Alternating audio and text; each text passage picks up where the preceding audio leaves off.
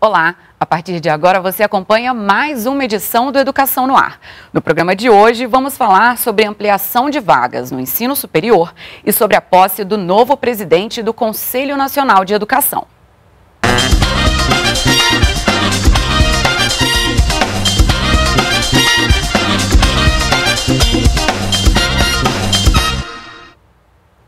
O ministro da Educação, Mendonça Filho, participou do 14º Congresso de Ensino e Pesquisa e Extensão e falou dos desafios da ampliação das vagas no ensino superior. Confira na matéria de Adriane Carrara. Ao participar do 14º Congresso de Ensino, Pesquisa e Extensão e do 14º Encontro de Iniciação Científica, o ministro da Educação, Mendonça Filho, falou sobre a reforma do ensino médio e disse que um dos desafios do MEC é a ampliação do número de vagas nas universidades. Os patamares relativos ao acesso ao ensino superior no Brasil são patamares ainda muito baixos. Temos aí cerca de 18% da população idade universitária frequentando universidade, universidade no Brasil e faculdades, cursos de nível superior. Devemos ampliar isso. A meta fixada pelo Plano Nacional de Educação é que possamos atingir até 2024 33%. É evidente que se faz necessário ampliação do universo de instituições federais de ensino superior vinculadas ao Ministério da Educação ampliação de vagas nas universidades e faculdades estaduais e municipais, e, ao mesmo tempo, também é, a possibilidade de que ampliemos é, acesso de vagas via instituições privadas. Quando eu falo de mudança do, da educação de nível médio, é evidente que tem um impacto direto na vida daqueles que sonham com a universidade e daqueles que sonham com cursos técnicos no Brasil. O ministro também garantiu a preservação de programas como o ProUni e o FIES. O evento acontece até o dia 6 de outubro. O tema este ano é o ensino superior no século XXI, criatividade e aprendizagem. O Conselho Nacional de Educação tem o um novo presidente, o professor Eduardo Deschamps. Na posse, o ministro Mendonça Filho lembrou a importância da discussão sobre o novo ensino médio no Conselho. Ao participar da posse do novo presidente do Conselho Nacional de Educação, Eduardo Deschamps, o ministro Mendonça Filho destacou a importância do debate sobre a reforma do ensino médio.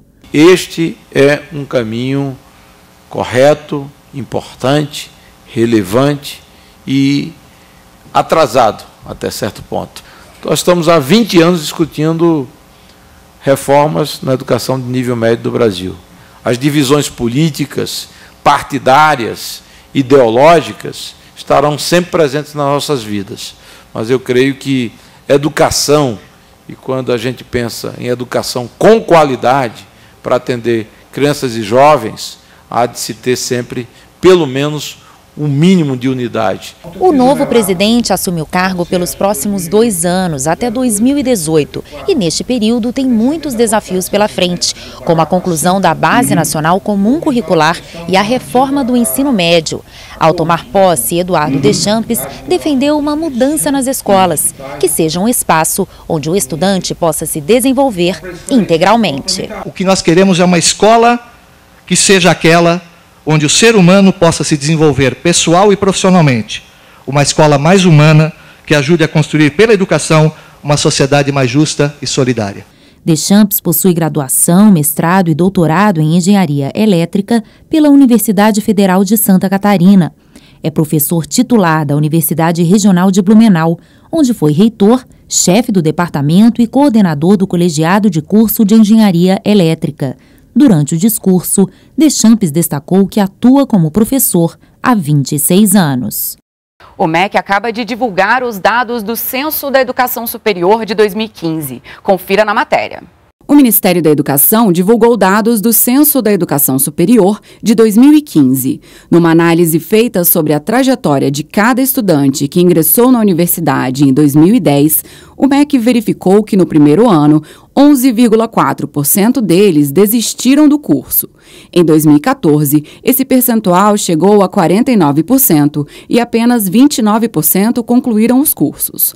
Para o ministro da Educação, Mendonça Filho, essa evasão é fruto do atual ensino médio, que não prepara o aluno para ingressar e concluir o curso superior. A reforma do ensino médio, eu acho que terá um impacto direto, naturalmente, nos indicadores eh, do ensino superior, no próprio ingresso, na permanência, a distância de cursos vocacionais no ensino médio para o jovem brasileiro, o que, de certo modo, termina contribuindo para uma maior evasão, uma desistência é, muito significativa de jovens que ingressam no ensino superior e, no meio do curso, eles desistem daquele caminho que esses jovens traçaram para as suas respectivas vidas. O censo revelou ainda que em 2015 eram 33 mil cursos de graduação em 2.364 instituições de ensino superior.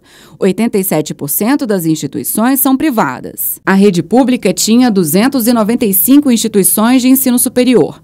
Mais de 8 milhões de estudantes estavam matriculados em cursos de graduação no ano passado. Nos últimos anos, aumentou a participação de instituições privadas de ensino, que era de cerca de 60% do total das matrículas para mais de 75%, 76% para ser mais preciso. Então, as é, instituições públicas de ensino no Brasil, elas tinham uma participação de cerca de 40% do total das matrículas e nós tivemos uma diminuição para 24% Ainda de acordo com o censo, das 6 milhões e 100 mil novas vagas oferecidas em 2015, apenas 42,1% foram preenchidas, enquanto 13,5% das vagas remanescentes foram ocupadas. Não faltam vagas, como vimos aqui no censo do ensino de 2015, não faltam vagas, não faltam carreiras a serem ofertadas,